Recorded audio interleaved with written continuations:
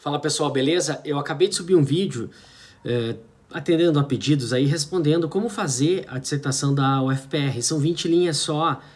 Pela grade de correção vai ser um texto Enem. E daí como que faz um texto Enem em 20 linhas? Eu uso um argumento, uso dois argumentos. O que, que eu faço?